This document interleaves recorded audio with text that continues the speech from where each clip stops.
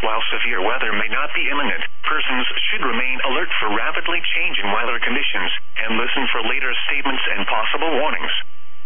Stay tuned to NOAA Weather Radio, commercial radio and television outlets, or internet sources for the latest severe weather information. Repeating, Tornado Watch number 376 has been issued from 2.45 p.m. until 11 p.m. for the following counties, Adams, Cumberland, Dauphin, Juniata, Lancaster, Lebanon, Perry, Schuylkill, and York.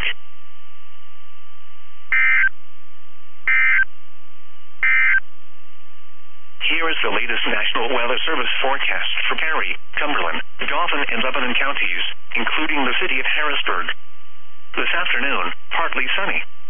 A chance of showers and thunderstorms.